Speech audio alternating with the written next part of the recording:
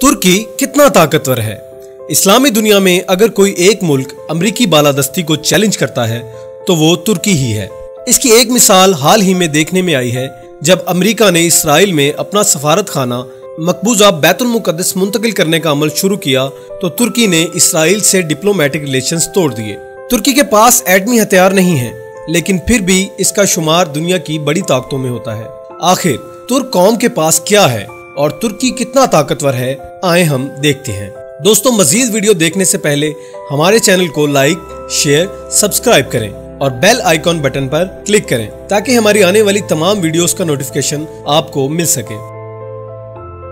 ویسے تو ترکی کا رقبہ پاکستان سے کم ہے اور اس کے پاس پانی اور آبادی بھی پاکستان سے کم ہے۔ اس کے باوجود بھی ترکی کی سب سے بڑی طاقت اس کا جغرافیہ ہی ہے۔ وہ یوں کہ یورپ اور ایشیا کے سنگم پر واقع ہونے کی وجہ سے ترکی دونوں برے آزموں کا دروازہ بن چکا ہے۔ اور اس جغرافیہ کی اتنی اہمیت ہے کہ امریکہ اور روس دونوں چاہتے ہیں کہ ترکی ان کے کیمپ میں رہے۔ اس لیے ترکی اپنی اس اہمیت کو بہت اچھی طرح استعمال کرتا ہے۔ اور یہی چیز ترکی کی کمزوری بھی ہے، کیونکہ ہر سال یورپ سے ایشیا جانے والے لاکھوں خواہش مند لوگوں کا سیلاب ترکی آ جاتا ہے، جو ترکی کے لیے بڑا چیلنج بن جاتا ہے۔ یورپ سمجھتا ہے کہ ترکی ایسے تارکین وطن کو روکے گا، جبکہ ترکی کے لیے انہیں روکنا، اپنے وطن میں ٹھہرانا یا واپس بھیجنا درد سر بن جاتا ہے۔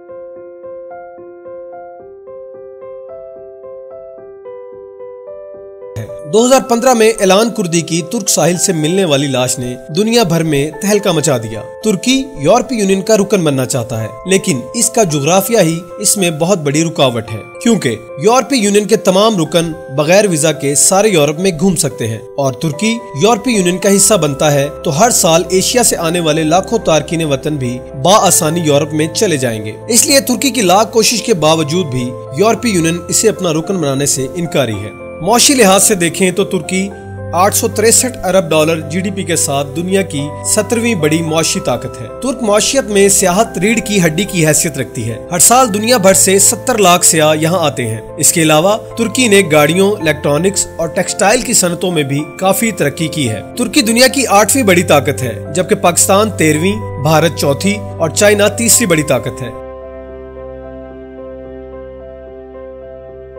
نیٹو کارکن ہونے کی وجہ سے کوئی بھی ملک ترکی کے فوجی مفادات کو براہ راست نقصان نہیں پہنچا سکتا۔ ایسا کرنے کی صورت میں اسے نیٹو سے بھی جنگ کرنا پڑے گی۔ نیٹو اتحاد میں امریکہ کے بعد سب سے بڑی فوج ترکی کی ہے، جس کی تعداد چار لاکھ دس ہزار ہے۔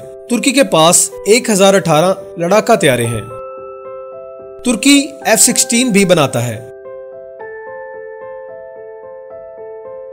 جبکہ نیٹو کارکن ہونے کے ناطے اس سے رڈار سے بچ کر اڑنے والے امریکی ایف 35 تیارے بھی ملیں گے۔ امریکی دباؤ کے باوجود ترکی نیٹو کا واحد رکن ہے جو روس سے جدید مزائل سسٹم خرید رہا ہے۔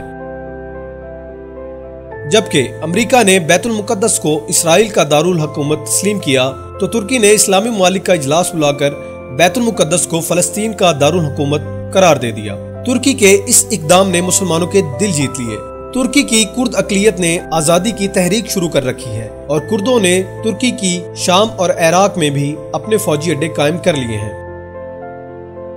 ترکی نے جوابی کاروائی میں شام کے شمالی علاقے میں قبضہ کر لیا اور عراق میں بھی ترک فوج داخل ہو چکی ہے۔ اس لیے ترکی کو عالمی سطح پر شدید تنقید کا نشانہ بنایا جا رہا ہے۔ اور یورپی یونین کو کردوں اور سیاسی مخالفین کے خلاف کاروائی پر ترکی سے شکایت ہے۔ دو ہزار سولہ میں جب ترک عوام نے فوجی بغاوت کو ناکام بنایا تو اس سازش کا الزام ترکی نے فتح اللہ گولن پر لگایا، کیونکہ وہ اس وقت امریکہ میں بیٹھے تھے۔ اور ترکی کے مطالبے کے باوجود امریکہ نے فتح اللہ گولن کو ترکی کے حوالے کرنے سے انکار کر دیا۔ اور امریکہ پر یہ الزام بھی تھا کہ اس کا فضائی اڈا اس سازش میں استعمال ہوا۔ اس واقعے کے بعد ترکی نے امریکہ سے ہٹ کر روس سے تعلقات بڑھانے شروع کر دیے۔ اس کے علاوہ ترکی کا اپنے ہمسایہ ملک یونان سے بھی سائپرس کے معاملے پر تنازع چل رہا ہے۔ ترکی نے یونان کو شکست دے کر سائپرس کے کچھ حصے پر قبضہ کر لیا تھا۔ اس وقت ترکی تیزی سے روس اور ایران کے قریب ہو رہا ہے۔ پاکستان اور قطر سے بھی ترکی کے بہترین تعلقات ہیں۔